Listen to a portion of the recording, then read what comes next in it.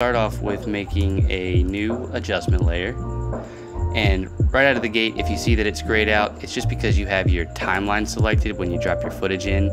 So all you gotta do is click your project bin, click File, New, Adjustment Layer.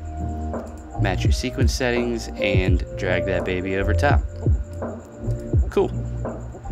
All right, we're gonna take a Gaussian blur, I think is what it's called.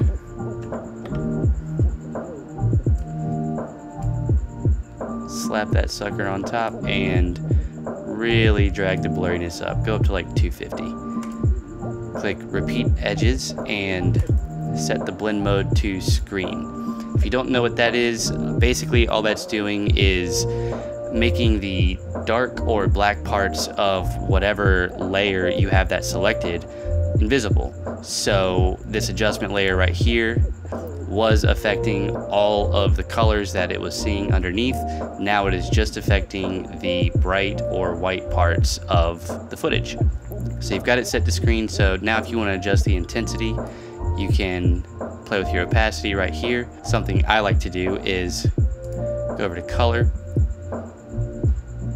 go to your curves panel and create a point on your highlights and on your shadows and just bring your shadows down on the adjustment layer and that will kind of wipe out some of the blur that's happening on the darker parts. And if it still seems too punchy, you can just drop your opacity down, bring back that sky detail. And if your blur layer is not blurred enough, you'll see this kind of wrapping edge around where the highlights are coming from. Sometimes that works. Um, for an instance like this, I would try to go up pretty high, drop it down, and just play around with the contrast on your adjustment layer to get the highlights to bloom out the way that you want.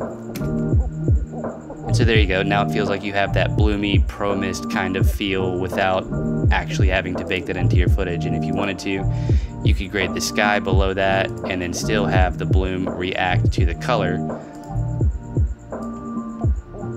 Just like that.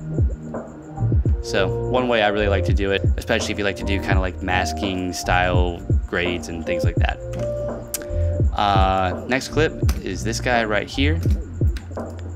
Looking kind of dope, but obviously the bloom feels a little too fake just because the wrap right here seems a little too sharp. So you could drag your blurriness even further right there. If you want to, you can just get rid of that. Set a new one. Make it feel a little bit more real. And then maybe bring your opacity back up. And there it is. Now it feels like a foggy day. If you wanted to, you could duplicate that drag your opacity down a little bit more. Actually, you could leave your opacity up. You could draw a little mask. You could feather that out. Bring that down.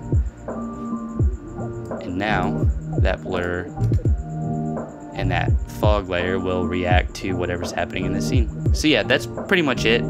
I personally love using this effect versus shooting with the Pro Mist filter on set just because of the versatility that you get with it in post. Um, but yeah, if there's any other effects that you want me to talk about or show you guys how I do, just let me know. Thanks. Bye.